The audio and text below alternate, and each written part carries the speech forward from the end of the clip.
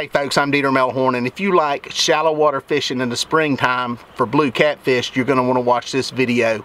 It's early March, and I'm headed out to see if the shallow water bite has turned on for blue catfish.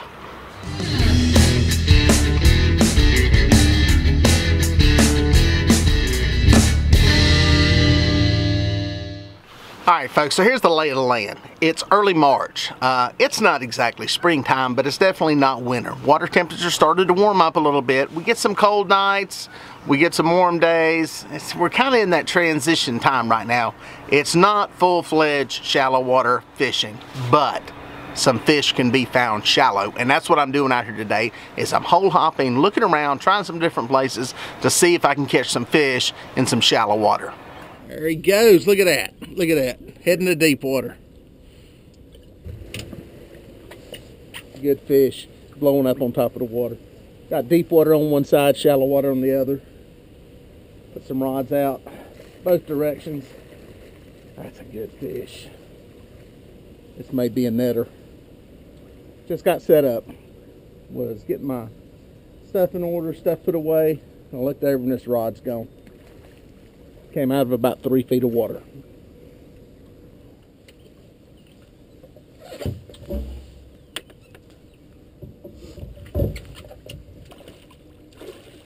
I think I can boga grip him.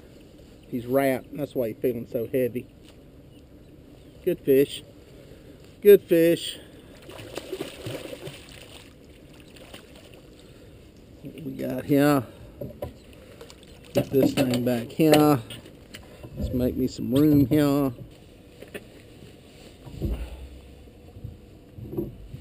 It's a very fat fish. He's too big for a Boga. I'm going to net him. Ah, maybe not.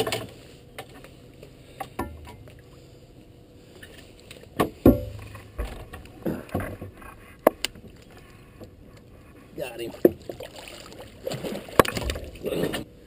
He's slightly bigger than I thought he was a monster. Great fish.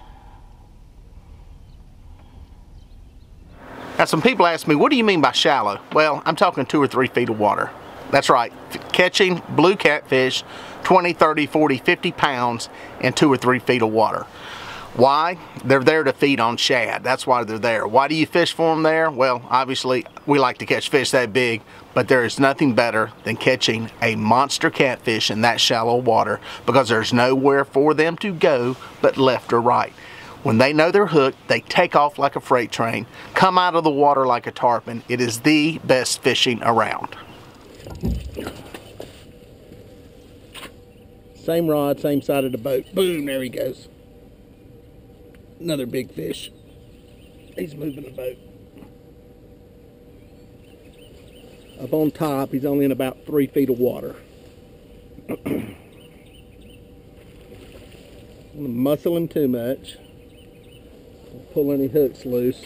Again, a Carolina rig, a big old piece of gizzard shad on the bottom. I fished yesterday, tried shallow, nothing came shallow. Every fish I caught came on the deep side. Came out of about 25 to 30 feet of water. It was on a steep ledge. Had baits up shallow, nothing. Today, as soon as I get set up, I hook into a fish, put this bait back out, was getting the gear straightened out. And I got another one, another nice fish. Not as big, but we'll take him.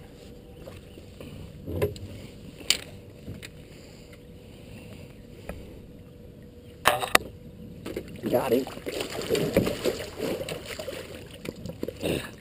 Nice big male. Big old mouth. Ready for the spawn. Nice big healthy male. So I know what you're thinking. Great, let's just go find some shallow stuff along the bank and park the boat and throw the bait out. Wrong. It doesn't work that way. Not all shallow water is created equal. You have to do some looking around, you have to do some checking, you have to do some hole hopping. I was out yesterday, I was fishing with deep water on one side, shallow water on the other. Never caught a fish in shallow water. Today, the first two fish I catch are coming out of two or three feet of water. So different location, different day, things change. You can't go with your regular old holes and expect to catch fish, catch fish every trip.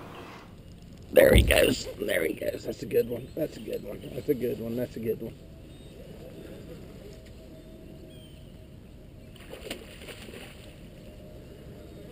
There he goes, swimming at the boat, swimming at the boat. It's the thing about getting them shallow. They ain't got nowhere to go. They ain't got nowhere to go. That fish is in about three feet of water. He's off to the side. There we go. Stay buttoned. Stay buttoned. Fun fishing, folks. Fun fishing. This is why I like coming out here when these fish go shallow. Go to grip him. He's right underneath the boat. If you ask why I'm stomping, when these fish go running right at the boat, if I do some stomping, a lot of times they'll cut left or right. Keeps them from going under the boat. Crazy, ain't it? Good fish.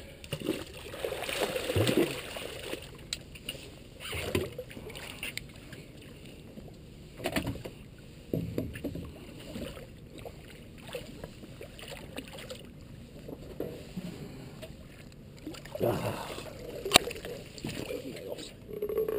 Good fish.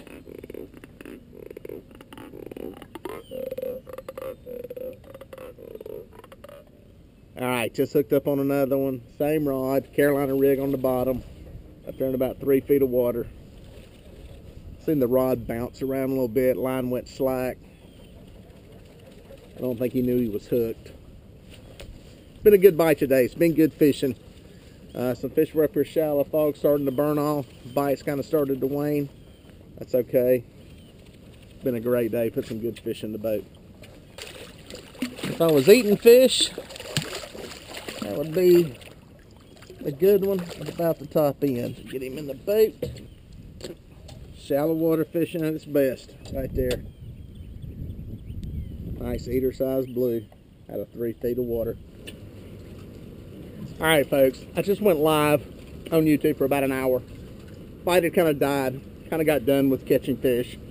Just said goodbye to everybody. I'm out of bait. Only got four rods left in the water was reeling stuff in, and this rod folds over. I think it's a decent fish.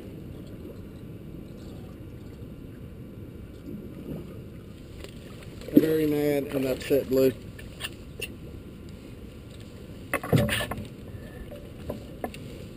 Another good bigger than I thought.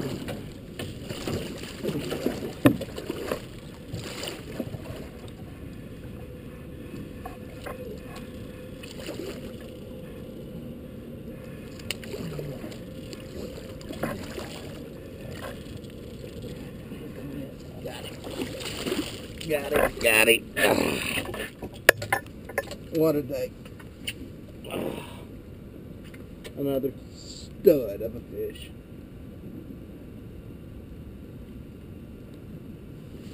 This time I promise I'm gone.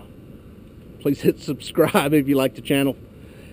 Please hit that little bell symbol and you'll be notified when these videos come on, especially the live feeds, where I may actually catch a fish like this. Thanks for watching.